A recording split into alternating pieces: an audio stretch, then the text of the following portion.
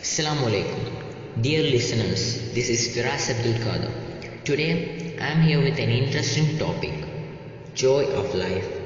Everybody wants to live long and stay fit. I have 8 point formula to stay fit and enjoy life. Number 1 Forget.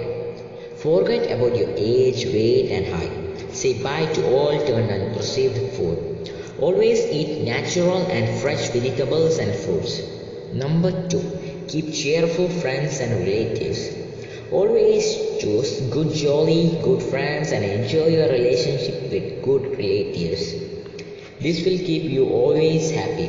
Laugh with your friends and relatives as and when you keep you have time to celebrate the joy of life. Number 3. Always learn something. Always educate yourself till the end of your life. Continuous learning is very good and it keep you busy all the time. You can learn computer, crafts, gardening, book writing, language learning and there is no end of learning.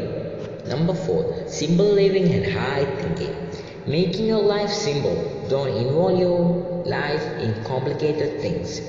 Live simple life, eat simple food, enjoy simple things in your life. Simplicity is the best in all manner. Thank God that you are alive.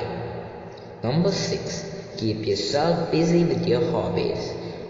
Keep yourself busy with your hobbies. Music, plants, filling, writing, and whatever keeps you busy. Otherwise, you know, empty mind is devil's workshop. Number 7. Take a break. If you feel alone and want to enjoy something else, take a break and visit to your favorite places, mall, gardens, picnic spot, riverside, hill station, temple, church, any place where you feel peace of mind. Go for a meditation camp or a yoga camp. How to learn love peacefully and energetic. Number 8. Let people aware that you love them. And always remember that our life is not measured by age, breaths we take, height, etc. It is measured by how you love and enjoy your life. So friends, if you like it, please forward to your friends and relatives so that you so that can share it with someone and enjoy the life at the fullest. You know, life is a gift from God to love, and the greatest thing in the world is.